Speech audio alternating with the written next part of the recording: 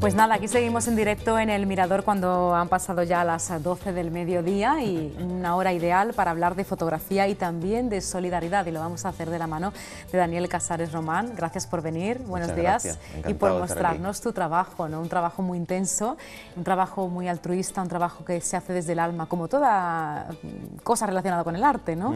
Y en tu caso que dejaste el periódico y te dedicaste al mundo de la fotografía, eh, humanitaria, ¿no? por, así, decir, por así decirlo. Bueno, en realidad, a ver, mm, yo creo que la fotografía que yo, que yo realizo, más que humanitaria, es fotografía humanista. Humanista. Es decir, yo rindo homenaje al, ser humano eh, en toda su amplitud, eh, desde un punto de vista documental y con un interés de carácter antropológico.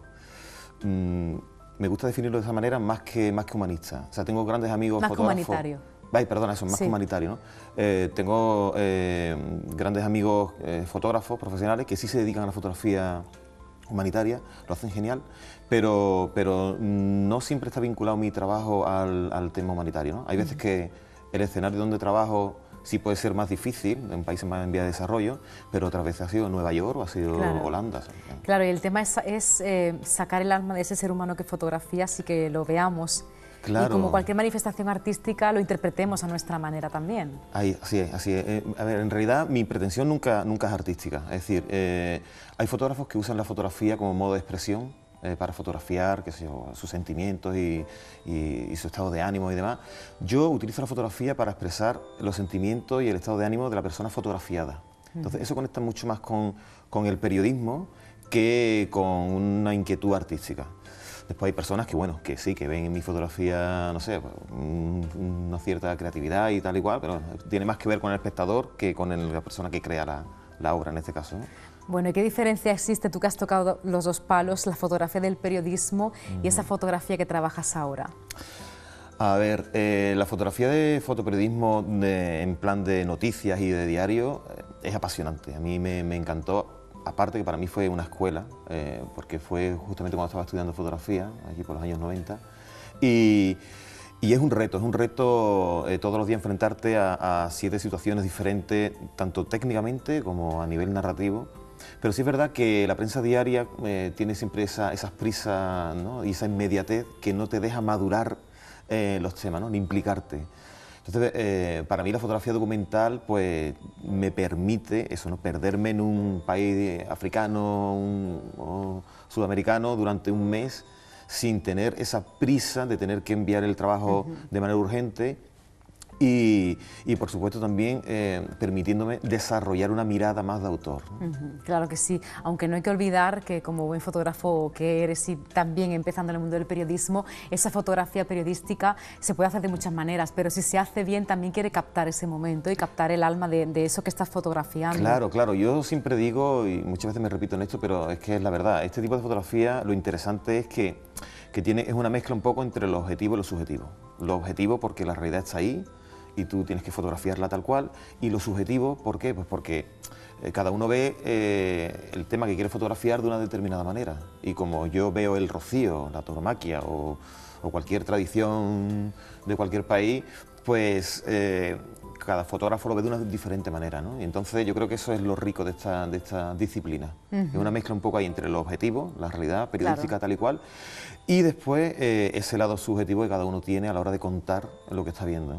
¿Cuándo decides dar el salto a este tipo de fotografía que implica moverte de escenario, que implica mm. viajar, que implica eh, olvidarte, un mundo en, eh, olvidarte un poco en el mundo en el que vives y dedicarte a, otros mundos, a conocer otros países? Claro, a ver, yo eso siempre lo he tenido de ahí de manera latente, pero claro, yo descubrí, yo desde muy joven, yo empecé a estudiar fotografía, bueno, cuando terminamos la GB directamente íbamos a FP, a estudiar imagen y sonido.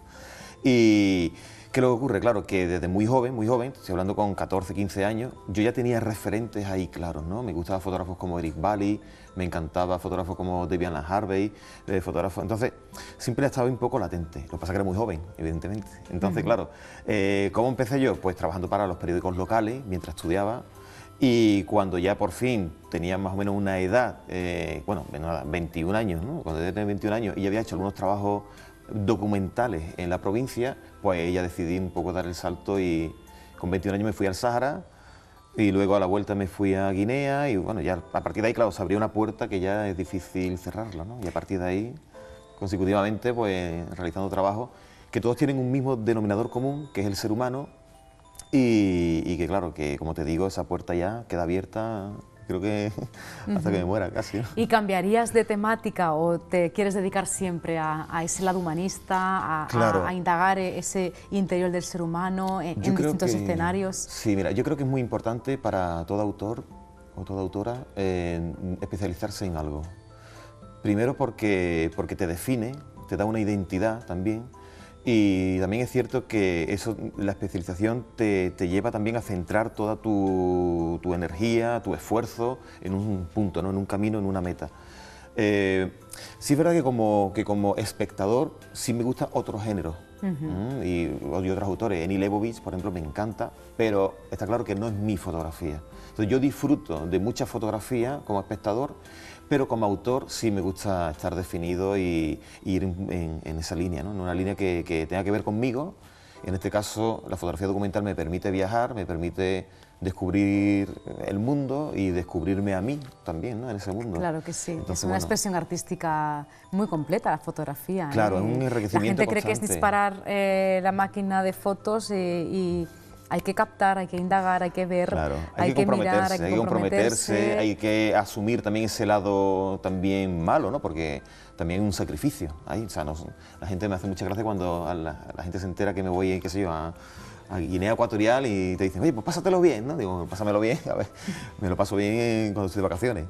Eh, pero cuando uno va a trabajar y asumir un compromiso, pues la verdad es que hay veces que te lo pasas bien, evidentemente, hay días muy buenos, pero también hay muchos días en el que comes mal, duermes mal, eh, qué sé yo, estás toda la noche en un bus de estos del año 70 por una carretera sin asfaltar. Y hay muchas veces eh, situaciones en las que dice, bueno, bueno, ¿qué es lo que hago yo aquí? O sea, con lo tranquilo que yo estaría en Cádiz, haciendo fotografía comercial y, y listo, ¿no? Pero bueno, de repente doblas la esquina ves la foto y dices, mira, ya sé lo que sé yo... para qué estoy aquí. Claro, para hacer esto. Entonces, bueno, hay una parte buena eh, que, que, sí que merece la pena, pero claro, merece la pena porque hay una pena. Hay una pena que uno también paga gusto y lo asume y, y en este sentido me estoy comprometido con la fotografía para el bien y para el mal. Al 100%. Bueno, y queremos ver tu trabajo y ahora sí que te voy a comprometer yo, ¿eh? para eso venimos, para eso venimos. Porque tienes un proyecto fotográfico que estás eh, paseando por diversos países que se llama Color Humano, una exposición de fotografía, pero todavía, Daniel, no la has traído a, nuestro país ni a nuestra tierra. A ver, sí que es verdad. Eh, mira, bueno, imparto cursos también en, una escuela de Manuel Echeve, que está aquí en Cádiz, donde sí hay algunas fotos expuestas en la pared, o sea que algo hay, algo hay. Se puede ver tu obra. Se puede, algo se puede ver, algo se puede ver. No, pero mira, eh, te cuento, a ver, a mí, me encantaría exponer aquí. Y por supuesto no lo descarto, no, es que me encantaría y tarde o temprano lo haré. Pero también es verdad que responde más a un deseo más emocional que profesional. Eh, me encantaría porque van a venir mis amigos, mi familia y demás. Pero la verdad es que, a ver, mi mapa es un poco el mapa del mundo. Entonces, dentro del mapa del mundo, pues hay puntos interesantes fotográficamente hablando. Claro, eh, mm, Cádiz es un referente a nivel mundial en muchos aspectos, pero no fotográficamente. ¿vale? Fotográficamente pues, está Perpiñán, está Arles, está Nueva York. hay puntos ahí donde yo siempre he tenido muchísimo interés en hacer mi obra, en exponer mi, mi, mi, obra en esos puntos ¿no? concretos, porque son los que realmente tienen una trascendencia desde el punto de vista fotográfico y profesional. Eh, y ahí es donde yo centro todo mi interés y toda, mi, y toda mi, mi, energía ahí, ¿no? Pero sí que es verdad que, bueno, que en Cádiz me encantaría y tarde o temprano lo tengo que hacer, evidentemente. Pero no tengo prisa, no es una cosa que tenga prisa. Tengo interés, pero no tengo prisa. Claro, porque es algo más íntimo, ¿verdad? Algo más de, emociones, como bien dices. Eh. Claro, porque aparte, bueno, está rodeado de cuando uno expone, qué sé yo, en Canadá o expone en Noruega o expone en Te Holanda. Te sientes como huerfanito, ¿verdad? Claro, claro. es muy interesante también ver personas que hablan otro idioma, ¿no? Eh, ver cómo hablan de tu foto, ¿no? que tú no tienes ni idea de lo que, están diciendo. Y que no es tu familia ni tus amigos, claro. Claro, claro. Pero bueno, eso está interesante, ¿no? Ver cómo la gente... cómo reacciona. Claro, ahí está. Pero es verdad que, hombre, exponer en tu ciudad y en tu tierra tiene que ser muy grande. Eso tarde o temprano lo tengo que hacer. Eso está claro, está ahí pendiente, está pendiente. Daniel, ¿es difícil hacerse un hueco en el mundo de la fotografía como en cualquier ámbito artístico? A ver, eh, eh, es difícil, evidentemente, pero, pero yo creo que la clave está un poco en, sinceramente, en la formación, en la formación y, por supuesto, en el compromiso. eh, si te comprometes como tocar la guitarra o como hacer cualquier otra cosa. ¿no? Eh, me acuerdo del maestro Rodrigo que al bajar de un, escenario hubo un, admirador que le dijo, maestro, me encantaría tocar la guitarra como usted, ¿no? Y él dijo, ese fue justo el precio que pagué. La verdad es que eso, o sea, eh, en el momento en el que te comprometes, te comprometes, como te dije antes, para bien y para mal, en cualquier disciplina, eh, lo puedes conseguir. Y asumiendo todos los riesgos, como también se asume las victorias. Claro, claro, claro. Entonces hay mucha gente que le gusta la fotografía, o le gusta la guitarra, o le gusta, pero solo para disfrutar. Para sufrirla, no. Bueno, pues si no te gusta para sufrirla es que no vas a llegar, creo, nunca a un nivel de excelencia. ¿Por qué? Porque significa comprometerte y sacrificarte. Bueno, y que para conocer algo y para vivirlo hay que conocer las dos caras. Evidentemente. O las tres o las cuatro, ¿eh? que muchas veces las cosas tienen muchas caras y hay que conocerlas. De todas formas, yo animo a todo el mundo que le guste la fotografía y que, quiera dar el paso profesional, que lo haga, porque es una profesión, bueno, de las más maravillosas del mundo. O sea, a mí me encanta la fotografía. Eh, lo que sí que es verdad eh, es que, bueno, cualquier profesional me pasa a mí, le pasa a todos los que conozco, pues mm, es muy difícil vivir solo de la fotografía, que te gusta, solo la fotografía que te gusta. Es decir, vamos a tener que hacer muchos trabajos comerciales que fotográficamente no nos interesa, pero evidentemente sirve para pagar las facturas. ¿no? Entonces, como profesional yo asumo todo tipo de encargos, todo tipo de encargos, ¿vale? Pero sí que es verdad que después uno también tiene su faceta de autor, que es la que conecta con color humano y es la que me gusta también, bueno, pues proyectar y es la que la gente conoce de mí. Pero también hay muchos trabajos que no expongo y que bueno, que tienen que ver con las mm, cosas de publicidad, cartelería. No, y al final esta obra, Color Humano, que es el resumen de, de, lo que tú quieres mostrar en tu fotografía, no vas buscando ahí ni ganar dinero ni nada. No, en absoluto. Ahí lo que vas buscando es mostrar lo que tú quieres hacer y. Claro, quién soy yo realmente, quién soy yo realmente y, por supuesto solazarme y enriquecerme. ¿eh? Nada que ver con el dinero. O sea, realmente. Eh, es una fotografía que conecta conmigo y es la que, la que... Es a ver, la fotografía que realmente es tuya es esa que tú haces desde una inquietud eh, creativa eh, y no por un encargo. En el momento en el que alguien te hace un encargo, pues imagino que tú lo tendrás que hacer lo mejor que lo puedas hacer, evidentemente, que tu cliente quede contento y poco más pero una fotografía o una canción o un, cuadro, un libro. Claro, cualquier cosa Mira que, hoy se comercializa todo, pero es cierto. Claro, pero que si tú lo haces porque realmente te sale de dentro, porque es una inquietud, es una inquietud que si no lo haces no puedes dormir y nada tiene que ver con el dinero, ese trabajo sí que es tuyo, de verdad. Ese trabajo sí que es tuyo. Y es el que más me interesa de todo el mundo. Yo siempre digo que en fotografía lo que me interesa siempre son los trabajos personales de los fotógrafos profesionales. Claro. un fotógrafo profesional que me quiera enseñar la boda que hizo el mes pasado, a mí no me interesa en absoluto. O lo bien que lo hizo, lo bien que... No me interesa, lo que me interesa es cuando tú tienes tu tiempo libre y tú coges la cámara por gusto, esas son las fotos que a mí me interesa ver. Y entre fotógrafos, siempre quedamos para, con un café para ver ese tipo de trabajo. Nunca quedamos para ver los trabajos profesionales, ni, ni los... No, no, para nada. Ni lo bien que da uno, lo nada, bien que le Ni lo bien que se vende, ni lo mal que, se, que, está el mercado. es el arte lo que mostráis. Claro, claro, claro. Os lleváis bien en el mundo de la fotografía, ¿verdad? por supuesto, por supuesto. Os admiráis. Por supuestísimo, por supuestísimo. Eso es fundamental también para crear y crecer, ¿eh? Admirarse, admirar a otros grandes. sobre todo compartir, mm. compartir. Es que la fotografía está hecha para compartir. Es que es así de claro. Y, y, además, los grandes amigos que tengo en el mundo de la fotografía son personas muy críticas con mi trabajo. Gente que te dice la verdad y te pone un espejo delante, ¿no? Y cuando algo está bien hecho, está bien hecho, cuando no, no. Y cuando he estado a medio gas, se nota y te lo dicen, ¿no? Entonces, eso es un enriquecimiento brutal porque sales de ese café... Mm, más grande, ¿no? Sinceramente, ¿no? A mí me gusta mucho rodearme de personas que sean mucho más grandes que yo, siempre, siempre, siempre. Porque, o sea, cuando yo estoy en una reunión y veo que en, esa cena este ha estado premiado en la World Press Photo y el otro ha sido finalista en no sé dónde y el otro resulta que ha publicado en El País y en El TAI. O sea, ahí es donde yo estoy súper contento y feliz. ¿Por qué? Porque porque sé que es que estoy cogiendo apuntes mentales constantemente, ¿no? Claro. Y sé que ese día cuando me acueste he crecido como fotógrafo seguro. Claro. Entonces me gusta estar rodeado de personas que admiro, eso está clarísimo, eh, mucho más de personas que me admiren bueno, eso alimentas tu ego, pero eso no sirve para nada, evidentemente. puedes crear un club de fan, pero eso evidentemente no, sirve para nada, para nada, ¿no? Entonces siempre me gusta eso. Eh, fotógrafos y profesionales que, o, amantes de la fotografía, amantes de la fotografía. No tienen por qué ser profesionales, No, no, no, en absoluto. Amantes de la fotografía, pero que, que, tengamos una mirada crítica y que nos guste compartir lo que hacemos. Pero sobre todo, compartir los trabajos que uno hace por gusto. Claro que sí. Por inquietud, no porque alguien te lo haya encargado. Claro que sí. ¿Mm? Bueno, en ese sentido, eh, viajar por todo el mundo te ha dado una visión de lo que ocurre en el mundo, del mm. ser humano en sí. ¿Con qué país te quedarías? ¿Con, qué, ¿Con cuál tienes un recuerdo así como más especial que te haya marcado? No sabría decirte. No sabría decirte y aparte me pones en un compromiso porque como esto lo van a ver por internet, me van a ver en muchas partes del mundo. Eh, no sé, mira, mm, a ver, con el permiso de Brasil, con el permiso de de Chile, de Argentina, donde tengo grandes amigos, yo creo que me quedo con México. Por decirte, yo creo que México sería el país donde yo me quedaría a vivir. ¿Sí? Hay muchos más, hay muchos más. Argentina también, Chile yo me quedaría a vivir, Brasil igualmente. Hay muchos países, muchos países. Perú, Perú me ha dado lo más grande. O sea, Perú, eh, Perú me ha dado, bueno, mm, no sé, muchas cosas. No, no sabría decirte, está claro que no sabría decirte. compromiso, Pero sí que es verdad que, a ver, a mí cuando me gusta un país, me gusta sobre todo por, la, por las personas que hay allí. O sea, no, no porque me parezcan más interesantes las tradiciones, porque todos los países tienen tradiciones interesantes desde el punto de vista antropológico. Paisaje, todos los, todos los países tienen sus rincones, pero eh, cómo te tratan, cómo te tratan, eso para mí es fundamental y es donde, donde ya te conquista ¿no? el, el corazón. Y Sudamérica, Latinoamérica en sí, Latinoamérica yo lo considero casi como mi segunda casa. Yo conecto mucho más por el carácter, por la idiosincrasia, por, por, la forma de entender la vida. O sea, yo, por ejemplo, tirarme un mes en la India, bien, estoy perfecto, está todo bien, pero hay un momento en que ya no puedo más. En cambio, yo me he tirado 10 meses en Sudamérica y me puede haber tirado 10 años.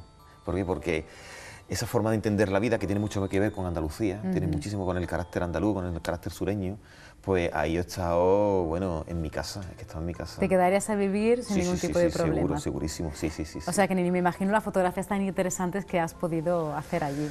Claro, a ver, em, cuando te sientes bien y cuando la gente te, te, trata de esa manera, eh, el resultado es evidentemente mucho mejor. Date cuenta que mi fotografía, mira, mi fotografía mm, se basa a ver, en la humildad, por supuestísimo, y en el agradecimiento, porque el, si el día que yo saque el libro Color Humano tengo que poner agradecimientos, tengo que sacar cuatro libros más, porque cuánta gente me ha llevado hasta a alguien que me ha abierto la puerta, que me ha presentado a otro, que al final me ha dicho, sí, puedes hacer la foto. Entonces, ¿qué ocurre? Claro que como mi fotografía, mi fotografía tiene que ver con, la, con, la, con las personas, pues eh, siempre depende del otro. Claro. Uno no se trae buenas fotos porque uno es bueno. No, no, no, no. no. Uno o porque haga fotografía a todo el mundo por la calle, porque mucha gente piensa que sí, que estás ahí lanzando fotos. No, tienes que contar con... con claro. Algunas veces se hacen eh, eh, en la calle, pero otras veces tienes que contar la claro, mayoría de veces. Rara vez mi fotografía es el producto de un encuentro breve. Lo normal es que me haya quedado a vivir con esa historia detrás. Claro, entonces me he quedado una semana entera con esa familia de Bolivia, eh, comiendo con ellos, durmiendo con ellos, conviviendo con ellos. Entonces si las fotos salen como salen, no es porque uno sea un genio, sino porque es que hay personas que te han ofrecido su intimidad. Entonces ya ahí casi cualquiera puede hacer la foto. O sea, ya hay que apretar el botón simplemente, no hay más. ¿eh? Tener un poco de técnica fotográfica, evidentemente. Hay que llegar más allá de, simple hacer la foto, ¿no? Entonces, por eso te digo que se, que se basa mucho en el agradecimiento y en la humildad, porque no depende de ti, depende siempre de lo que los demás te quieran dar. Entonces ahí siempre estoy... Y Sudamérica conecta mucho con, con, nuestra forma de con ser. forma de ser.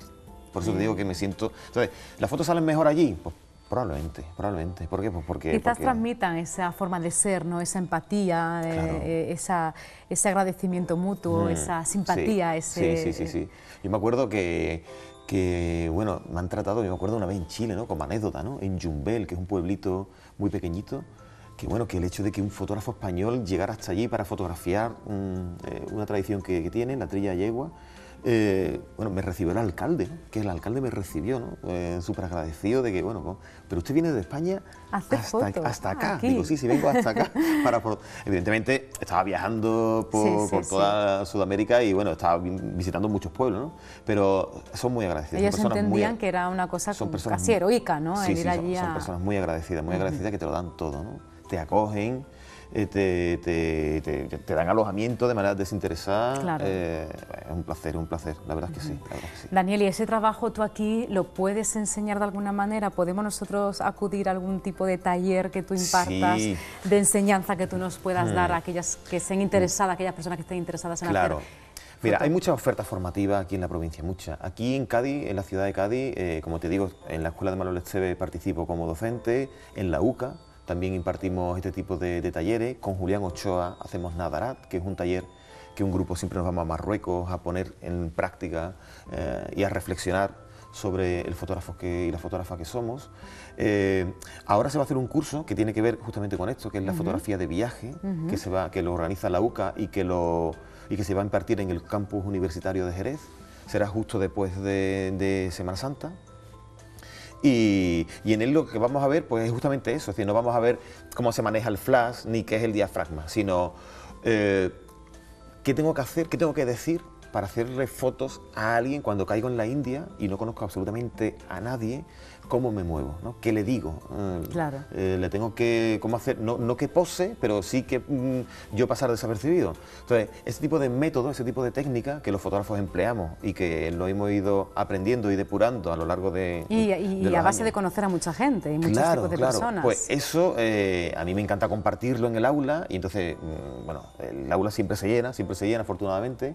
Y después, bueno, pues todos los participantes, después en experiencias posteriores, en viajes posteriores, pues ponen en práctica todo aquello y, la verdad es que muchas veces incluso hay em, participantes que me escriben, ¿no? Oye Daniel, estoy en Hong Kong, le dije justo lo que tú me dijiste, le dije esto, esto y esto y la persona accedió a hacerse fotos, o sea, eh, me ha dado resultados y al final se traen fotos porque muchas veces desde el punto de vista técnico, que es algo que prácticamente se puede aprender leyendo libros, tutoriales, eh, viendo vídeos en internet, qué sé yo.